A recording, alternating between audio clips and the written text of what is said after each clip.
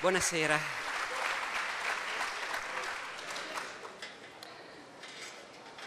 Eh, ho spostato il microfono, se non va bene ditemelo, eh, mi raccomando. Allora, ci sono tre professioni che hanno il diritto di portare la toga. Il giudice, il prete e lo studioso. Quest'abito attesta la maturità mentale di chi lo porta, la sua indipendenza di giudizio e la sua diretta responsabilità verso la sua coscienza e il suo Dio. Significa la sovranità interiore di queste tre professioni, che sono collegate fra loro. Sono le ultime che dovrebbero accettare di agire sotto costrizione e cedere alle pressioni. Ecco, era uno che la prendeva un po' alta, eh? Ernst Kantorowicz, ma come vedrete, eh, come dire, in vita sua ha avuto delle occasioni buone per affermare questo tipo di impegno. Lui non era né un magistrato né un prete, era uno studioso. Questo tipo di impegno dello studioso che risponde soltanto alla sua coscienza e al suo Dio se ne ha uno e, e non ad altri, vedremo a chi. Ernst Kantorowicz è sicuramente meno noto due, dei due studiosi che abbiamo raccontato nei giorni scorsi. Fra noi medievisti è molto conosciuto, è uno storico che ha scritto alcuni libri molto importanti. Di nascita è tedesco, nasce in una città che i tedeschi chiamano Posen e che i polacchi chiamano Poznań e che oggi è in Polonia, ma che per molto tempo è stata una città invece tedesca Ernst Kantorowicz nasce a Posen nel 1895, badate alla data, è un po' più giovane di Mark Bloch, decisamente più giovane di Gaetano Salvemini, ma non così giovane da scampare a quella data fatale del 1914 che come sappiamo per due generazioni è stato un momento insomma, che, ha, che ha cambiato la loro vita. Kantorowicz nasce a Posen da una famiglia ricca, una famiglia di industriali, produttori di alcolici, famiglia importante, autorevole, hanno mezzi, il piccolo Ernst ha una governante inglese, cosa che non guasterà, come vedrete poi nell'ultima parte della sua vita. È destinato dalla famiglia a continuare a gestire l'azienda di famiglia, per cui dopo il liceo lo mandano ad Amburgo a studiare sostanzialmente economia e commercio. È lì, a 19 anni, che si prepara a diventare il gestore di una fabbrica di alcolici quando scoppia la prima guerra mondiale. Lui, rispetto a Salvemini e a Mark Bloch, ha avuto tempo di fare meno cose prima che scoppiasse la guerra. Parte volontario, si fa i suoi quattro anni di guerra, ferito nella grande battaglia di Verdun, poi nell'ultimo anno di guerra lo spediscono in uno Stato maggiore tedesco a Costantinopoli, a Istanbul, capitale dell'impero ottomano, alleato della Germania. Eh, in realtà lui è lì a fare una cosa non particolarmente poetica, costruiscono delle ferrovie a uso militare.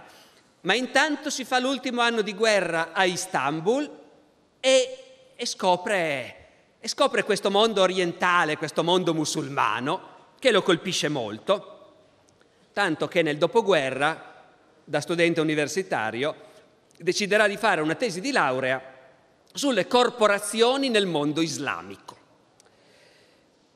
Bene, fin qua è sopravvissuto alla guerra.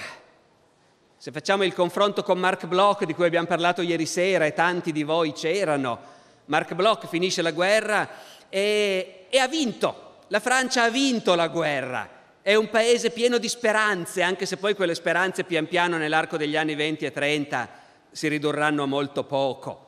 Però Mark Bloch opera nel dopoguerra in un paese che ha vinto. Ernst Kantorowicz torna in patria in una Germania sconfitta. In una Germania sconfitta dove, dove sta succedendo di tutto, dove il paese è sull'orlo della rivoluzione, il Kaiser è scappato, e prima che si arrivi a quel po' di stabilità relativa della Repubblica di Weimar, si passa attraverso rivoluzioni, controrivoluzioni, prove generali di guerra civile.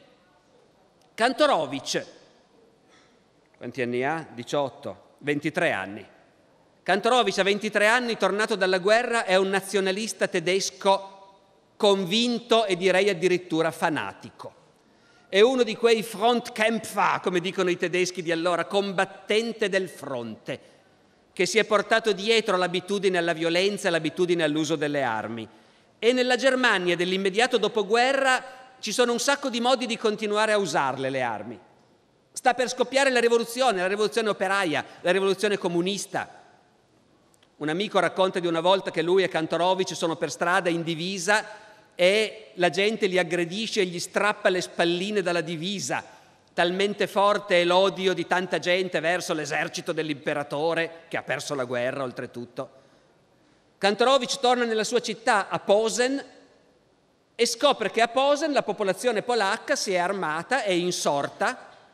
Ricordate che fra le mille cose che succedono alla fine della Prima Guerra Mondiale è che rinasce uno Stato polacco, che prima non c'era. Rinasce la Polonia, con un grosso pezzo che apparteneva all'impero dello zar e con pezzi che prima appartenevano all'Austria e alla Germania. A Posen i polacchi insorgono, gli abitanti tedeschi formano una milizia armata per combattere contro i polacchi e Kantorowicz si arruola. Combatte contro i polacchi, perdono, Posen diventa Poznan, la famiglia Kantorowicz emigra verso l'interno della Germania, vanno a Berlino. Ernst fa giusto in tempo a iscriversi a filosofia all'università, scoppia la rivoluzione comunista a Berlino, la rivolta spartachista. Contro la rivolta spartachista si formano, l'abbiamo detto nel titolo che è stato letto prima di questa chiacchierata, i Freikorps, i corpi liberi, i corpi volontari, ex soldati ma anche studenti nazionalisti inquadrati da ufficiali del Kaiser che, che prendono le armi per stroncare nel sangue la rivoluzione comunista. Kantorowicz si arruola, combatte e stroncano nel sangue la rivoluzione comunista. Ricordate Rosa Luxemburg, Karl Liebknecht, un colpo in testa e giù nel fiume. Ecco. Deve aver fatto qualche mese di università, nel gennaio 19 c'è stata la rivoluzione a Berlino, due mesi, poi nel marzo 19 scoppia la rivoluzione comunista a Monaco di Baviera, la Repubblica dei Consigli, dei Soviet, Soviet sapete che vuol dire consiglio, scoppia la rivoluzione bolscevica a Monaco di Baviera, si arruolano fra i corps, Kantorowicz si arruola, va a combattere contro i comunisti a Monaco di Baviera, lì viene anche ferito in combattimento. Qualche anno dopo, questo giovane studente, ho detto di filosofia perché la filosofia la, la, si chiama così la facoltà, ma lui è storico, si sente storico fin dall'inizio. Qualche anno dopo ricorderà cosa voleva dire essere uno storico in Germania nel 1918, secondo lui, secondo i ventenni della sua generazione. Essere uno storico nella Germania in sfacelo del 1918 con le bandiere rosse in giro, secondo Kantorowicz, voleva dire voi capite, questo lo dice 12 anni dopo, eh, quando ha fatto in tempo a calmarsi molto. Ma quando avevo 23 anni dice, essere uno storico voleva dire avere una fede fanatica nella patria, nella patria in pericolo. E il, mestiere, il dovere dello storico tedesco, secondo quello che pensavano loro a vent'anni in quel momento, era predicare il dogma del prestigioso futuro della nazione tedesca e del suo onore. Avete capito il contesto? In questa Germania in crisi di identità spaventosa, una Germania che era, come dire, pensate a quella di adesso, ricca e potente come quella di adesso e in più armata fino ai denti. E ha perso una grande guerra ed è ridotta in miseria. Provate a pensare cosa pensa la maggior parte dei tedeschi in quella situazione. Aspettate solo che ci riprendiamo e poi la faremo vedere a tutti. Kantorowicz, per fortuna, è ricco di famiglia, studia, passa da un'università all'altra. Nelle università tedesche, a quell'epoca, forse un po' ancora adesso, ma molto meno, a quel tempo c'era questa costumanza, molto bella a suo modo. Gli studenti universitari frequentavano diverse università Facevano due semestri magari a Berlino, poi un altri due semestri a Heidelberg, visitavano diversi luoghi del sapere alla ricerca del loro maestro. A Heidelberg nel 1920 Ernst Kantorowicz, 25enne, già con quattro anni di guerra alle spalle più tre guerre civili, incontra il suo maestro. Entra nel circolo di un poeta famosissimo nella Germania di allora, noi oggi l'abbiamo totalmente dimenticato, si chiamava Stefan George. Era un poeta famosissimo che si circondava di giovani, era un po' quello che oggi noi considereremmo un guru, ecco, un uomo che ha un forte carisma e che influenza un gruppo di adepti, di fedeli che pendono dalle sue labbra, è più che cinquantenne questo poeta, si circonda di giovani, è una specie di profeta. Cosa predica Stefan George ai giovani come Kantorowicz nella Germania in sfacelo degli anni venti? Lui dice in realtà, in realtà la vera Germania non è quella che vedete. Esiste un'altra Germania, una Germania segreta, che è fatta dei grandi uomini che sanno essere al di sopra della contingenza del presente. La Germania nella sua storia ha sempre avuto dei grandi uomini che sono tutti collegati fra loro. E in futuro un giorno la Germania segreta trionferà. Un giorno un'elite, un'aristocrazia di spiriti nobili, di artisti, di saggi governerà la Germania e il mondo.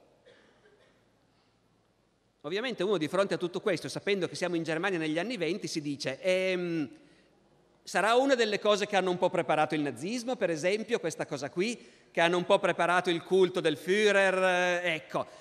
Non è chiaro, si discute, perché molti giovani intellettuali e aristocratici e ufficiali tedeschi sono passati nel circolo di Stefan George.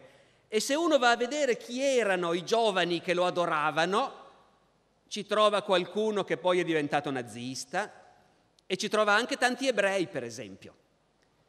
Ci trova, per esempio, ancora i due fratelli von Stauffenberg che poi faranno l'attentato a Hitler del 20 luglio 1944. Per carità, Juncker prussiani, aristocratici, ufficiali di destra, conservatori, nazionalisti, ma non nazisti.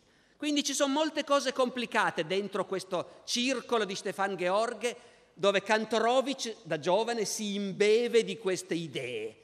La Germania segreta, i grandi uomini, i grandi saggi e poeti e artisti che devono dirigere il mondo.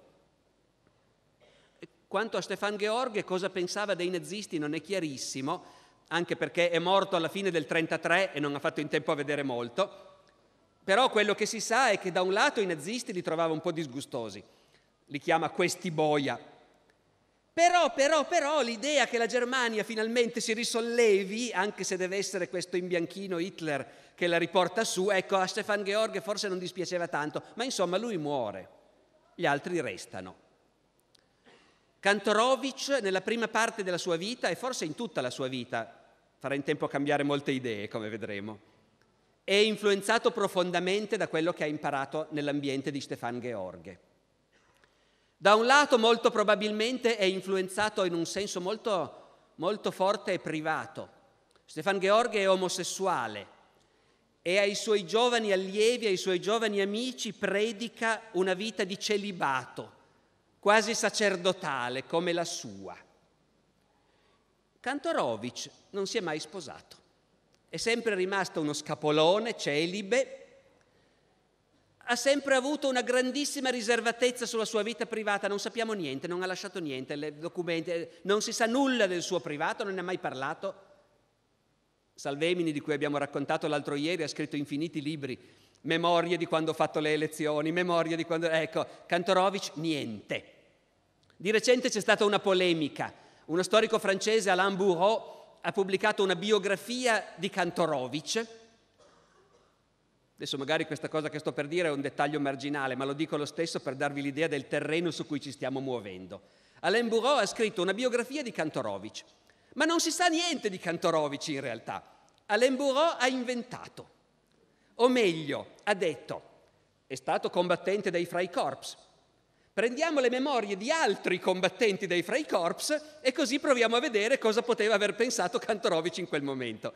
In questo libro Alain Bourreau, questo libro dal metodo discutibile evidentemente, Alain Bourreau dice Tutti sapevano in America, anticipo, alla fine lo porteremo in America Kantorowicz, dove vedrete cosa gli succede. Eh, in America, nelle università americane, tutti sapevano che Kantorowicz era omosessuale. Un allievo americano di Kantorowicz, che poi è stato suo collega, ha voluto intervenire e puntualizzare. Momento, sospettavamo che fosse omosessuale, ma non l'ha mai saputo nessuno. Della sua vita privata non si sapeva niente. E questo sarebbe il meno. Kantorowicz a noi interessa perché è un grande storico e nel circolo di Stefan Gheorghi ha imparato questa cosa che influenza la sua carriera all'inizio dei grandi uomini, i grandi uomini della storia tedesca del passato. Ce n'è uno che gli interessa più di tutti e che interessa anche a noi italiani perché è l'imperatore Federico II di Svevia che era più italiano che tedesco, come lo stesso Kantorowicz sapeva benissimo. Kantorowicz si innamora di Federico II di Svevia. Nel 1924 si festeggiano i 700 anni della fondazione dell'Università di Napoli, fondata da Federico II nel 1224. 700 anni dopo, nel 1924, Kantorowicz e un gruppo di giovani amici tedeschi fanno un pellegrinaggio a Palermo per portare una corona sulla tomba di Federico II. E la corona porta una dedica all'imperatore Federico II da parte della Germania segreta. In Italia Kantorowicz dice, e scrive poi a casa, qui gli italiani sono tutti impazziti per Federico II. Sostanzialmente sui giornali si dice, prima di Mussolini un altro grande ha voluto rendere imperiale l'Italia e così via. E Kantorowicz ci sghignazza abbastanza questa idea che gli italiani e Mussolini si vogliono annettere Federico II. Fatto sta che quella è la sua passione di quegli anni e nel 1927 Kantorowicz scrive il suo libro più famoso, ancora oggi si trova tranquillamente in libreria in Italia, tradotto in italiano, che è la sua biografia dell'imperatore Federico II. La biografia di Federico II esce in una collana diretta da Stefan George sui grandi uomini del passato tedesco, una collana sulla cui copertina c'è una svastica. Eh, va detto peraltro che non c'erano ancora i nazisti e la svastica non era ancora stata appropriata dai nazisti, era un simbolo esoterico che poteva andare bene per tutti gli usi. Cosa scrive Kantorowicz su Federico II? Intanto nella dedica, nell'introduzione ricorda quando la Germania segreta è andata a rendergli omaggio sulla sua tomba a Palermo. E dice noi dobbiamo, dobbiamo ricordarci dei grandi imperatori tedeschi del passato proprio in questa epoca senza più imperatori. Di nuovo capiamoci, il trauma che è stato per la Germania, che era un impero, trovarsi di colpo ridotta a una repubblica. Mica per niente Hitler il suo Stato lo chiamerà il terzo Reich, cioè il terzo impero, perché sa benissimo che questa cosa di non essere un Reich, di non essere un impero, ai tedeschi non è andata giù. Proprio in questa epoca senza più imperatori, che è una frase che va benissimo nel 1927, ma non l'ha inventata lui in realtà, è un'espressione di Schiller, di, anni, di 100, più di cento anni prima. In Germania è proverbiale, in Germania vuol dire brutti tempi. Schiller diceva questa età senza imperatori, questa età spaventosa. Dunque, nostalgia per un passato in cui la Germania era un grande impero. E vabbè, l'abbiamo capito questo. Adesso magari mi capiterà di ripeterlo ancora qualche volta, ma insomma ci siamo intesi. Ma c'è anche qualcosa di più perché Kantorowicz è pur sempre quello che ha fatto la tesi sulle corporazioni nel mondo islamico. E il suo Federico II non è un puro eroe tedesco e basta. È un eroe tedesco che però è mezzo italiano, mezzo siciliano e che ha protetto gli arabi, ha protetto gli ebrei. È un ponte fra l'Oriente e l'Occidente. Kantorowicz cerca altri uomini dell'epoca che siano grandi come Federico II. Secondo lui chi sono? San Francesco, Dante, un altro innamorato dell'impero, come sapete. Dunque italiani, il suo Federico II è una figura mista, mediterranea. però è un superuomo. Kantorowicz ha letto il suo Nietzsche, naturalmente, no? Il superuomo che si erge al di sopra degli altri. Questo libro esce di un giovane sconosciuto e provoca un putiferio in Germania. Viene attaccato molto duramente dai vecchi storici, i quali dicono in sostanza, è scritto molto bene, ma sono tutte fantasie. Notate che questo libro grossissimo non ha le note a piedi pagina. Sapete cosa vuol dire per noi del mestiere questa cosa? La nota a piedi pagina serve a dire questa notizia l'ho trovata in quella fonte. Il collega può andare a controllare. Ma se tu pubblichi un enorme libro dove Federico II viene fuori come una figura strabordante, mitica, il primo uomo del Rinascimento, una leggenda vivente, e non ci sono le note, gli storici tedeschi gli fanno delle recensioni spaventose, dicendo il giovanotto è molto in gamba, promette bene, però questa roba qui non è storia, è fantasia, è uno sguardo mitico, si è inventato le cose.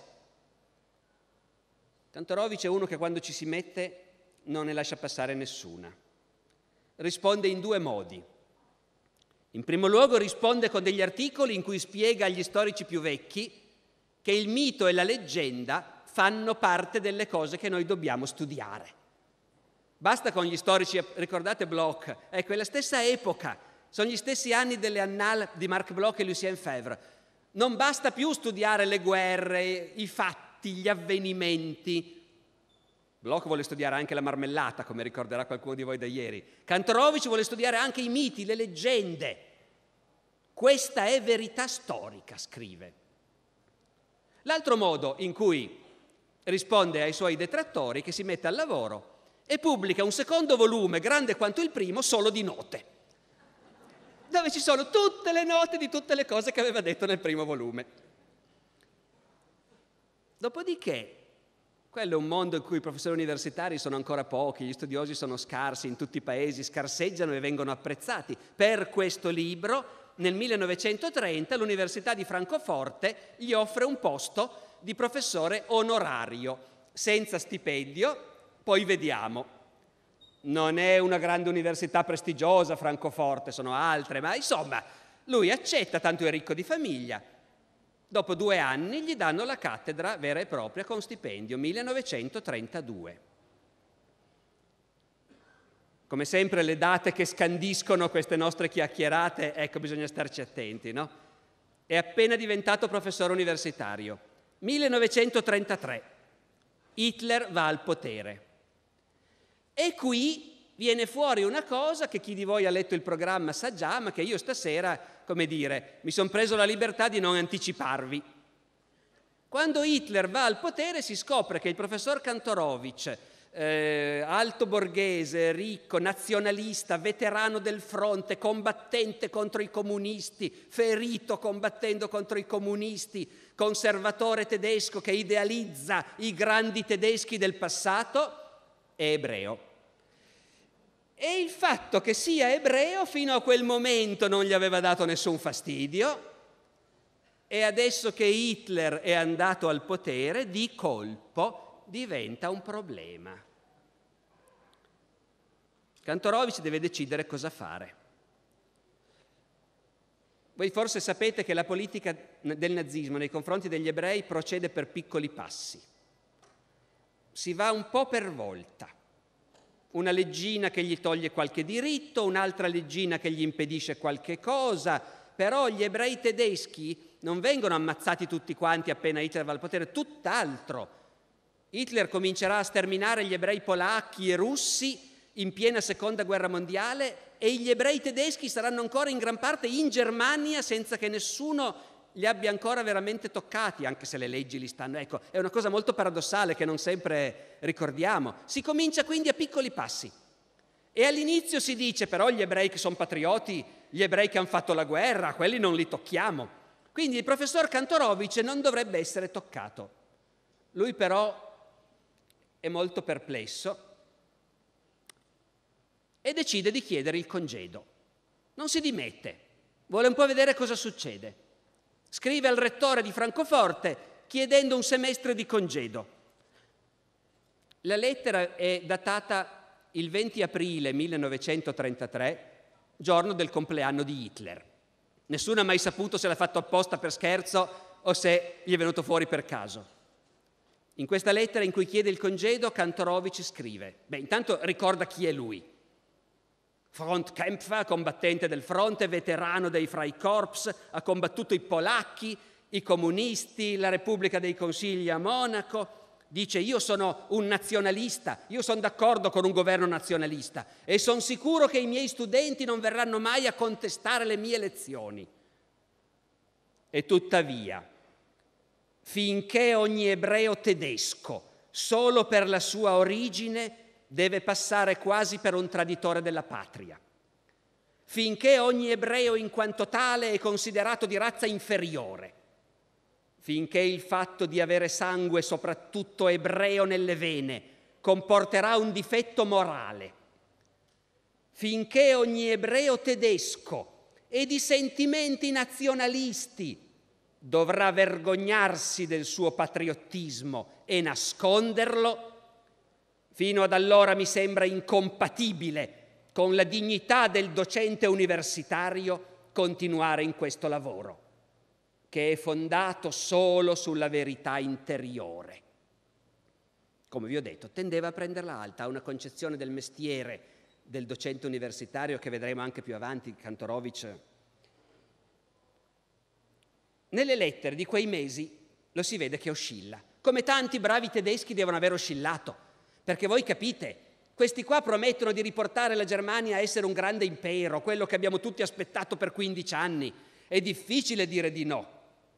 D'altra parte, cosa sia il nazismo si vede subito. Kantorowicz è particolarmente scandalizzato da quella politica nazista che viene applicata fin dall'inizio e che si chiama loro la chiamano in tedesco la Gleichschaltung, l'allineamento, vale a dire un solo partito, tutti gli altri non ce n'è bisogno.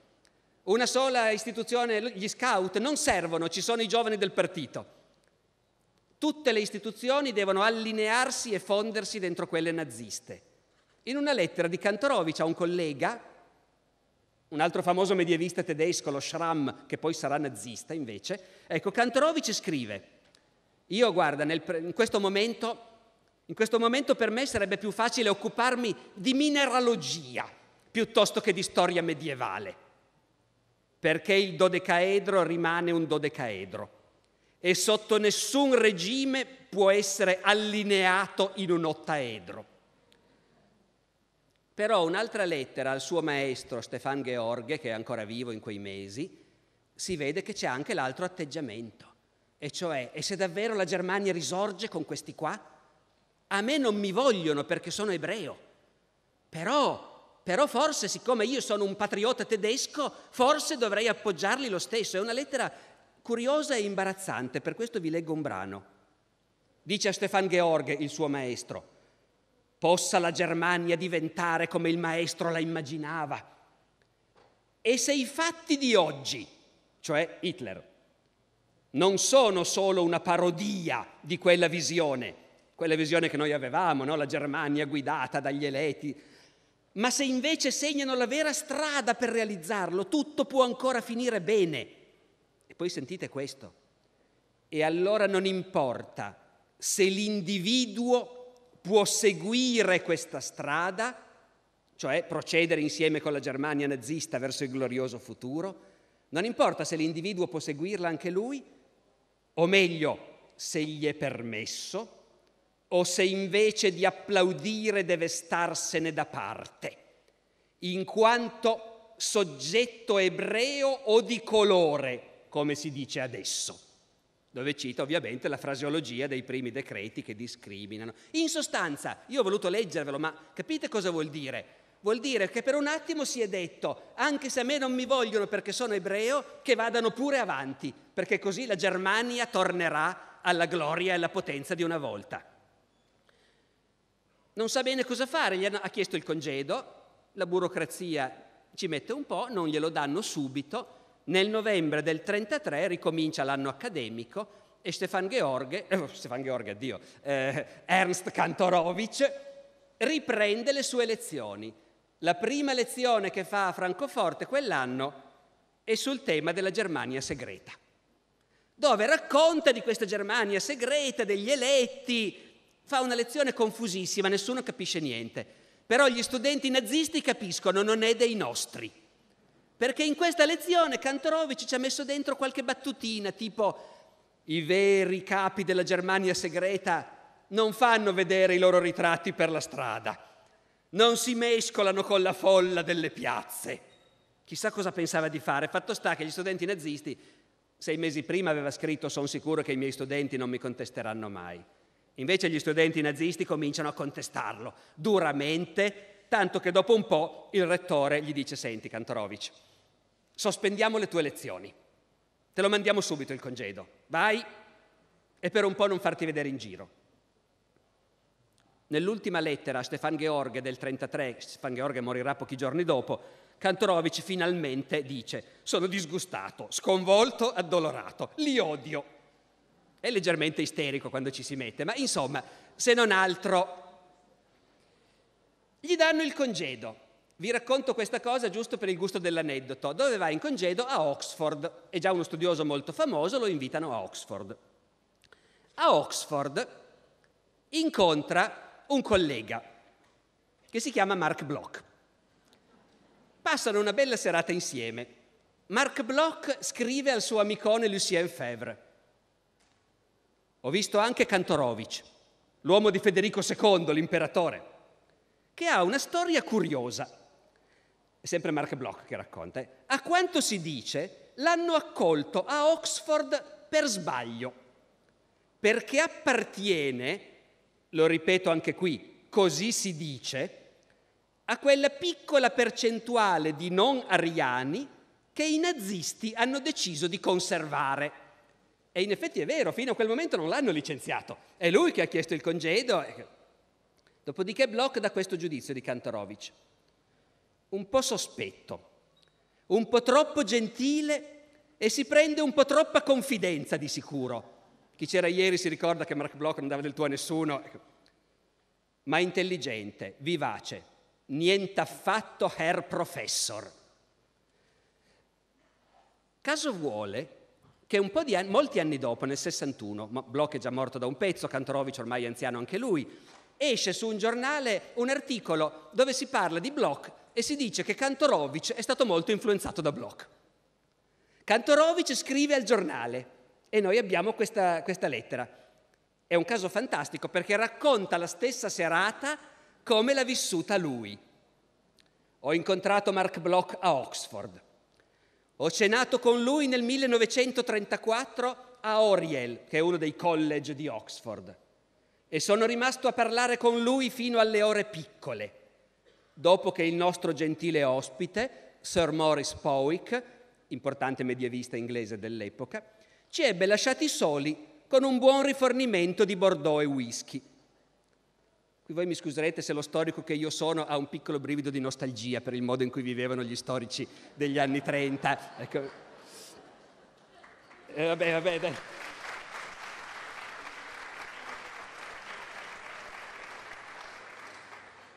Entrambi, Kantorowicz che racconta l'incontro con Bloch, entrambi ci siamo così eccitati nel corso della conversazione che non stavamo seduti ma in piedi davanti al caminetto a scambiarci argomentazioni su quasi ogni soggetto possibile.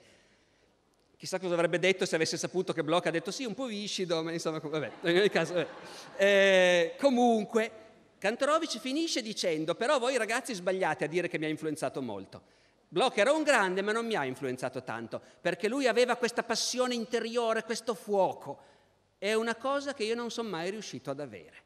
Kantorowicz si considera come storico, ormai da vecchio, deve ancora fare della strada, eh, come vedremo, rispetto al Federico II, si considera un freddo, non un passionale come Mark Bloch. Bene, fa un semestre a Oxford, poi torna in Germania in Germania scopre che lo riprenderebbero anche all'università, però adesso bisogna fare il giuramento di fedeltà a Hitler. E lui rifiuta e va in pensionamento anticipato. Qui c'è un piccolo dettaglio di quelli surreali su come funziona il mondo, forse la Germania in particolare. Il professor Kantorowicz va in pensionamento anticipato, è ebreo, ma è un ebreo tedesco, Fatto sta che l'università, poi emigrerà in America più tardi, l'Università di Francoforte continua a pagargli la pensione in America fino al 1941.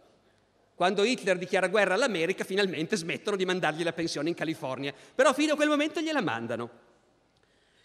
Va in America, vi dicevo, non subito, è un testardo, prova a restare in Germania, fino al 38 resta in Germania. Viaggia, prende appunti, scrive un grande libro, poi quando si prepara ad andare dall'editore per pubblicarlo, esce una nuova leggina nel 38 che vieta agli ebrei di pubblicare libri. A questo punto non ne può più. È abbastanza famoso, ha degli inviti in America, parte, va in America. Gennaio 39 è lì, prima a Baltimora, poi a Berkeley, in California, si fa qualche anno di gavetta, nel 45 gli danno la cattedra a Berkeley. Arrivando in America, Kantorowicz è un altro uomo. Una cosa che colpisce chi lo conosceva prima e che colpisce noi che leggiamo le cose che lui scrive. Il nazionalista tedesco che era da giovane adesso non ne può più della Germania. Gli sono cadute tutte le illusioni. Diventa molto antitedesco, anzi. Cambia perfino la pronuncia del nome perché in Germania pronunciava Kantorowicz, che per i tedeschi suona meglio. In America comincia a pronunciare Kantorowicz, che invece funziona meglio per gli americani. Ripudia il suo libro su Federico II, al diavolo i grandi tedeschi del passato. Quando gli parlano di quel libro dice quel bastardo, non parla dell'imperatore, parla del libro proprio. In un'occasione dice l'autore di quel libro è morto molti anni fa. Il libro è famosissimo, gli propongono di ristamparlo, lui si oppone con questo ragionamento. Mi risulta che quel libro Göring lo ha mandato in regalo a Mussolini con dedica e che Himmler lo teneva sul comodino, perciò quel libro non lo ristampate. Qualcuno si stupisce di come ha fatto in fretta a cambiare. Abbiamo una citazione curiosa di un altro ebreo tedesco che arriva in America negli anni della guerra, un filosofo, Karl Löwit. Karl Löwit, anche lui esule dalla Germania, arriva a Berkeley nel 1941 e nel suo diario annota eucalipti, bellissima vista sulla baia, sapete che l'Università di Berkeley sta vicino a San Francisco, sulla baia di San Francisco, posto meraviglioso. Vado a trovare Kantorowicz, che ora ha scambiato la Germania segreta con la California. E dice, beh, comunque, dopodiché quello che vede Levitt a casa di Kantorowicz è un'infinità di bottiglie di liquore in una grottesca villa da diva del cinema. La California ha le sue caratteristiche ovviamente, Kantorowicz ci si tuffa a corpo morto. Oh, siccome si rischia di scherzare troppo, ma lui era un uomo strano, eh? Comunque, in questi anni in cui vive la vita del divo di Hollywood insegnando a Berkeley, poi dalle sue carte viene fuori che molti altri e anche lui a un certo punto si stanno dando da fare per ottenere un visto americano per i suoi parenti che sono rimasti in Germania, perché lui ha lasciato in Germania la mamma, una cugina, Gertrude, che è una poetessa abbastanza famosa, una cuginetta. Ve l'ho detto che sappiamo poco di lui.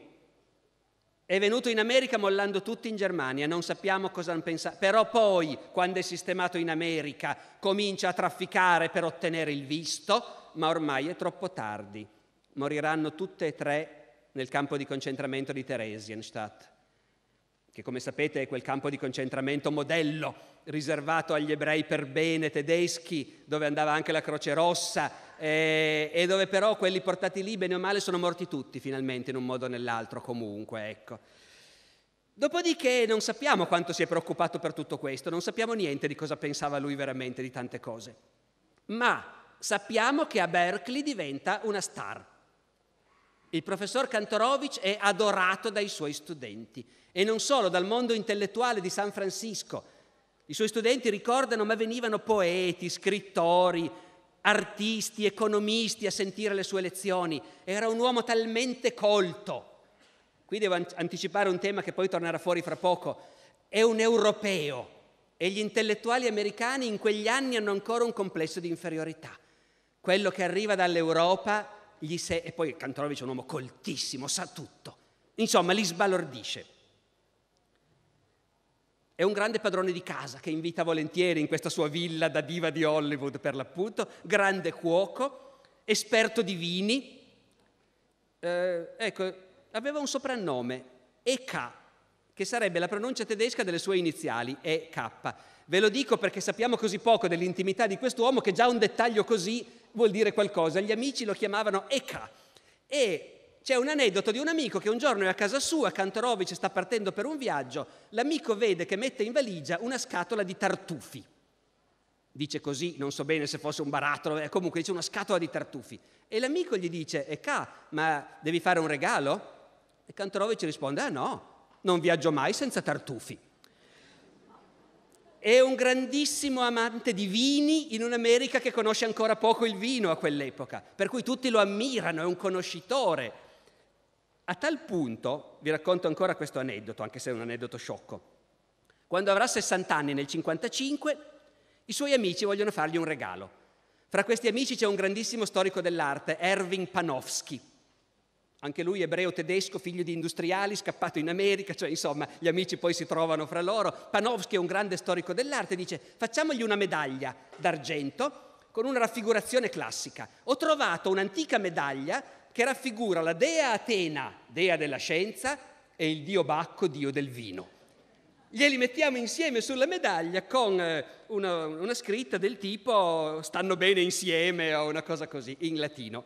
Eh, poi Cantorovic quando lo viene a sapere dice no, no, no, io non voglio festeggiamenti, non voglio regali, non voglio che si parli di me, niente, non gliela lascia fare. Dopodiché in California si trova così bene che spesso gli capita di confidare agli amici questa è la mia ultima casa, non dovrò mai più traslocare. E invece la storia è ancora lì che lo aspetta al varco.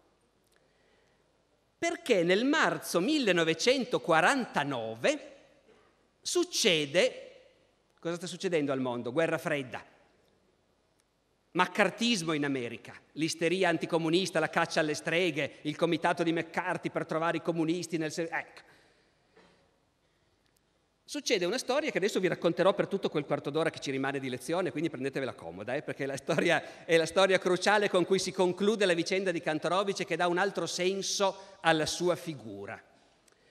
Il consiglio di amministrazione dell'Università della California decide di fare una bella figura in questo momento in cui il paese è in lotta contro il comunismo, decidendo che ogni professore dell'università dovrà prestare ogni anno uno speciale giuramento in cui garantisce di non essere un sovversivo, un comunista o cose del genere. Qui vi do un piccolo dettaglio per capire la situazione. Università, l'Università della California a Berkeley e Los Angeles è un'università statale, non è la tipica università privata americana, è dello Stato della California. Le università americane all'epoca sono già benedette da quella cosa meravigliosa che noi non avevamo fino a pochissimo tempo fa, e che invece è stata regalata anche alle nostre università italiane con l'ultima riforma. Un consiglio di amministrazione formato non dai professori, ma da esponenti del mondo politico e della cosiddetta società civile. In Italia oggi non è detto, all'epoca in America in genere queste persone non sanno niente di cos'è l'università, ma la devono gestire. Nel consiglio di amministrazione di Berkeley ci sono il governatore della California, miliardari assortiti, banchieri, avvocati di miliardari e così via. L'ammiraglio Chester Nimitz che ha vinto la battaglia delle Midway e che hanno messo lì per bellezza. Questo corpo dei reggenti dell'Università della California decide che tutti i professori dovranno prestare questo giuramento di fedeltà. Non credo e non sono membro né sostengo alcun partito o organizzazione che propone o insegna il rovesciamento del governo degli Stati Uniti con la forza o la violenza. Al Consiglio di amministrazione sembra una cosa normalissima e ovvia. L'intera America sta lottando contro il comunismo. Ci sono alcuni piccoli paradossi che io stesso non sapevo e ho scoperto preparando questa chiacchierata. Per esempio, che il Partito Comunista negli Stati Uniti non è illegale. Esiste legalmente e i cittadini hanno diritto di farne parte. Però c'è un consenso diffuso che se sei comunista non puoi essere impiegato dello Stato, non puoi essere insegnante e così via.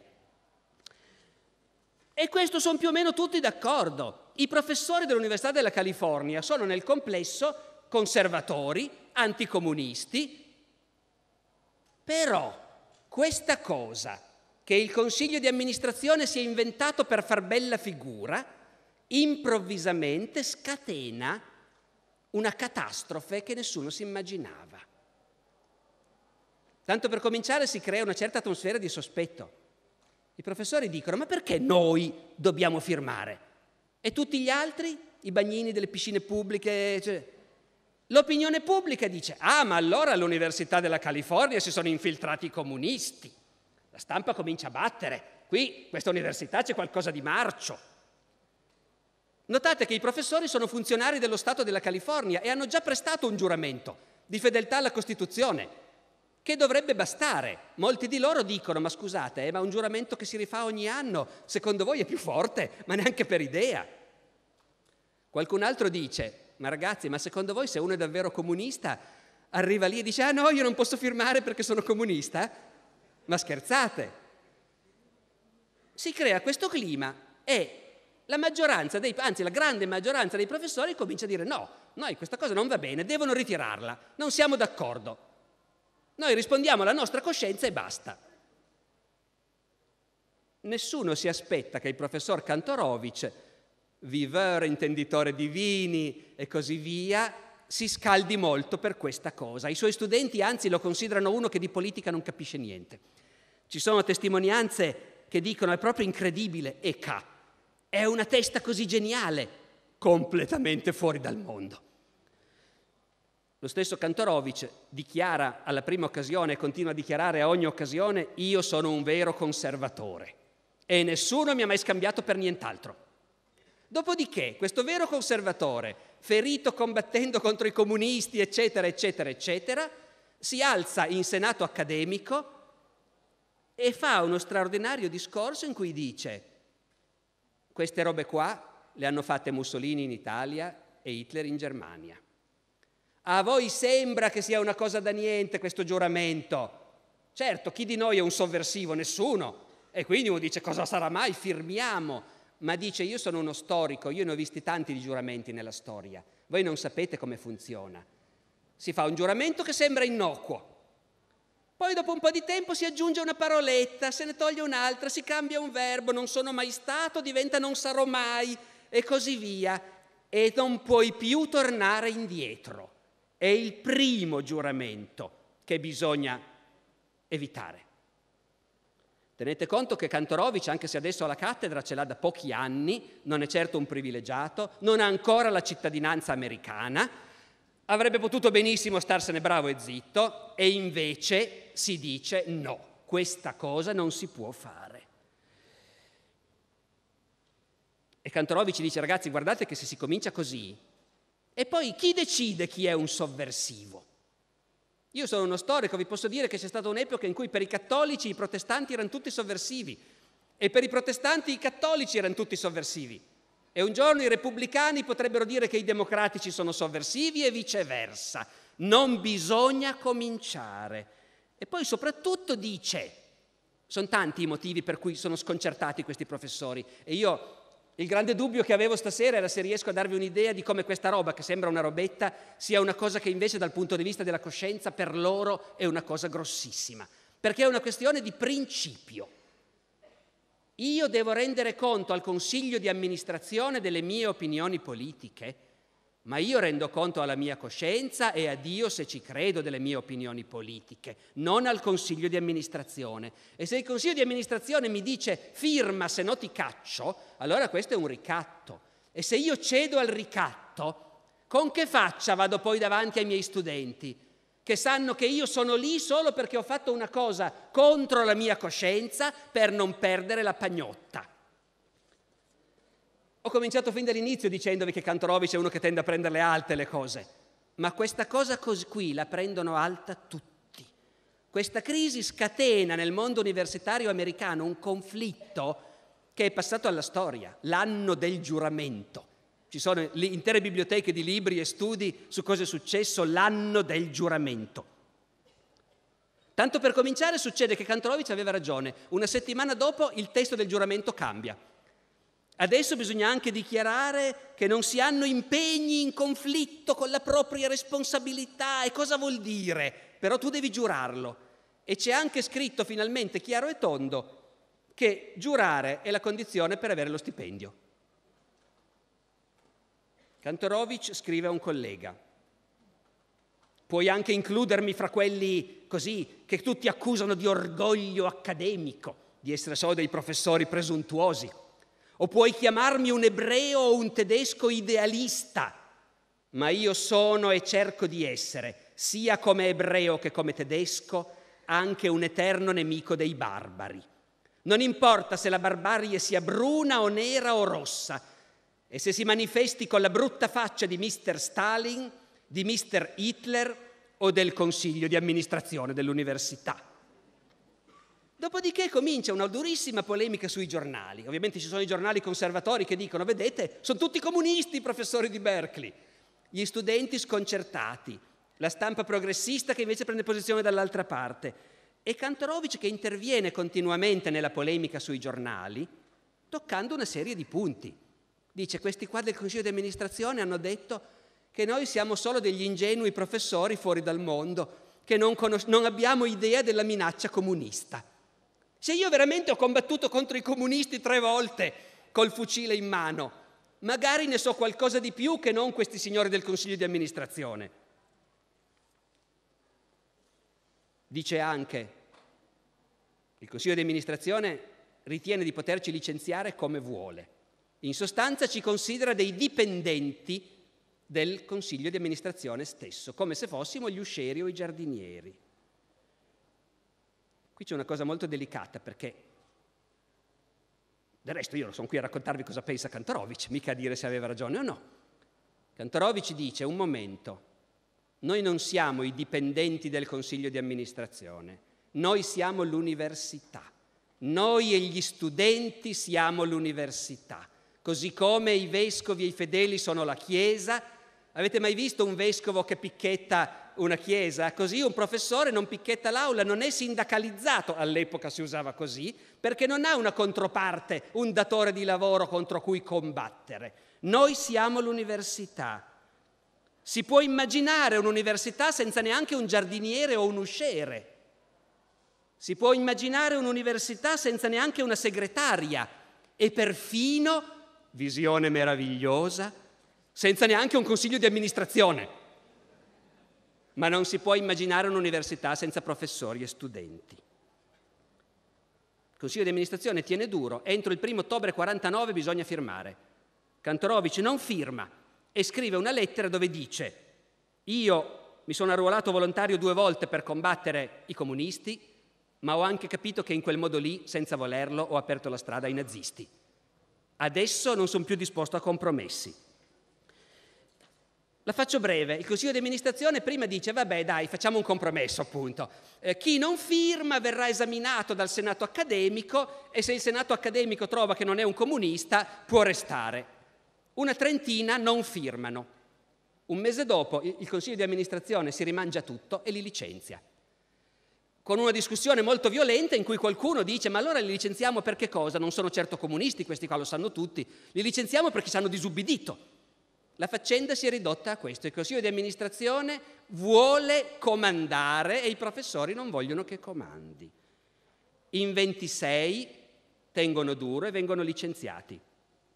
Fra loro ci sono due italiani, lo dico così per dettaglio, Leonardo Olschi, storico, ebreo, italiano, e un fisico nucleare, Giancarlo Vick.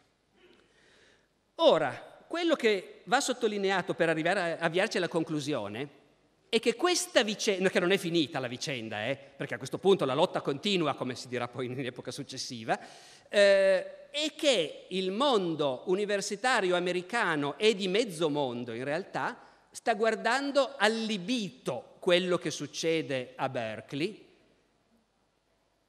i giornali americani più progressisti sono sconvolti. Il New York Herald Tribune scrive questa università va incontro al disastro. E la cosa più comica è che nessuno pensa che ci siano davvero dei comunisti fra i professori, neanche il consiglio di amministrazione lo pensa. Ma soprattutto quello che succede è che da tutte le parti arrivano misure di solidarietà nei confronti dei licenziati.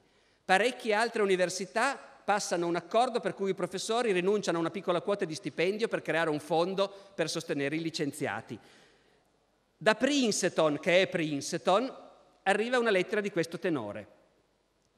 Naturalmente qui siamo tutti scioccati dalla superstizione medievale, o dobbiamo dire sovietica, del vostro consiglio di amministrazione tutta una serie di grandi studiosi che vengono invitati a Berkeley, perché voi sapete, adesso qui stiamo parlando di Berkeley che attraversa una crisi pazzesca in questo momento, ma l'università americana è un corpo straordinario, di un'apertura e di una ricchezza, specialmente in quegli anni, e la sua potenza è data anche dal fatto che in genere è la qualità degli studiosi l'unica cosa che conta e le università fanno a pugni per strapparsi gli studiosi più in gamba.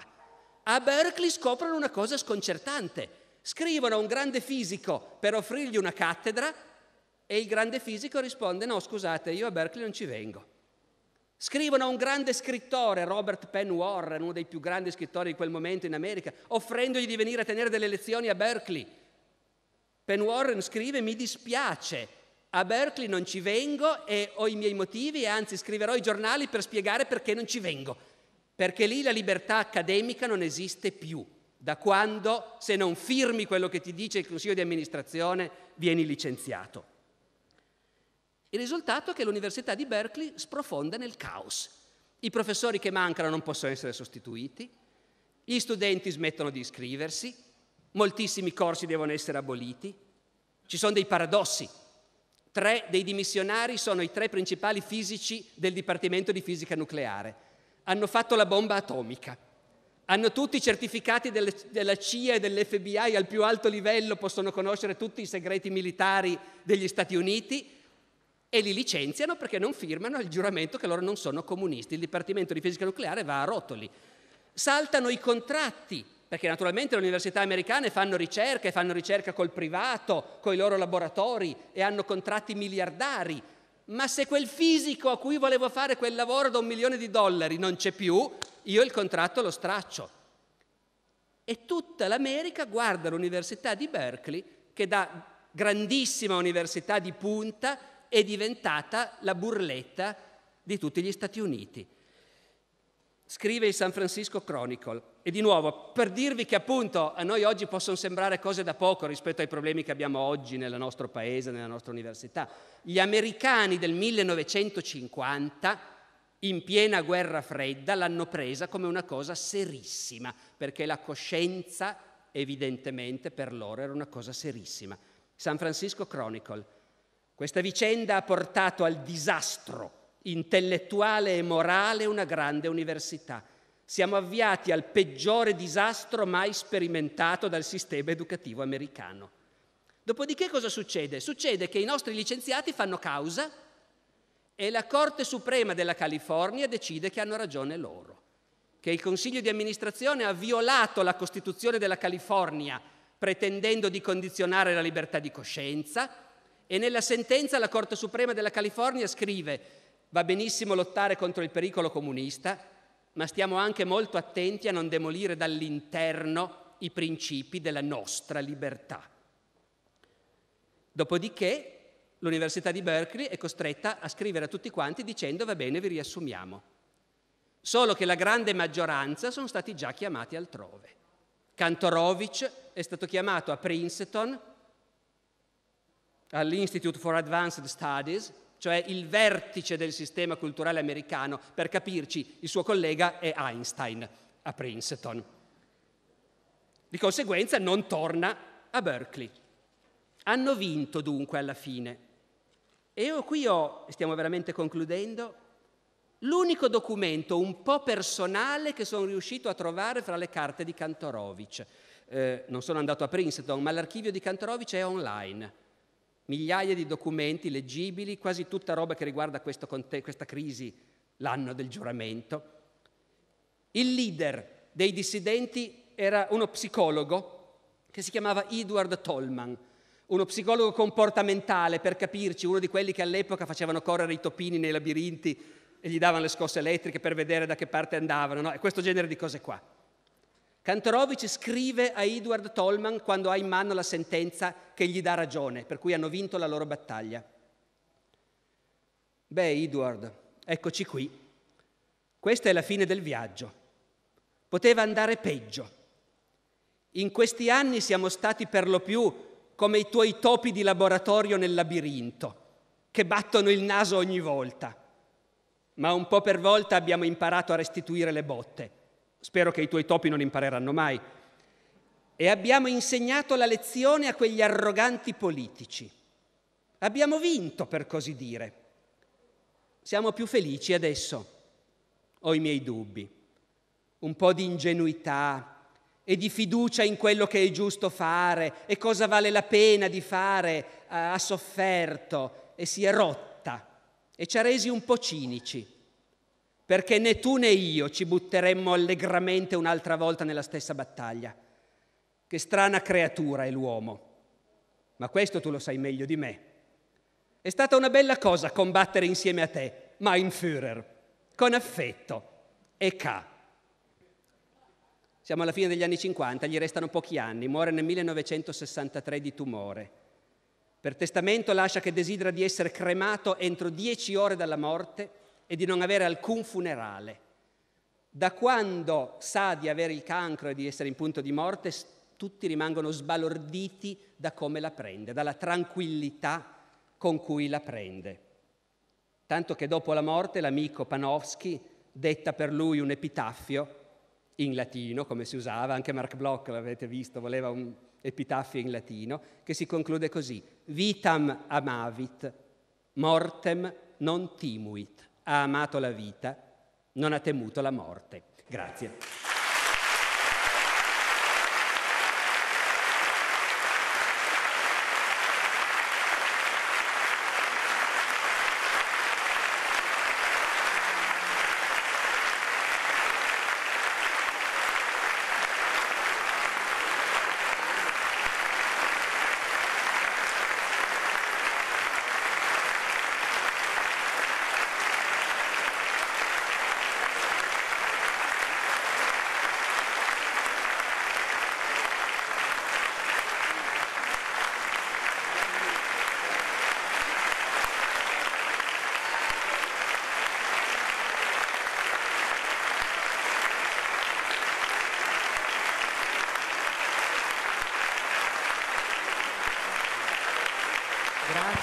e arrivederci all'anno prossimo a Sarzana.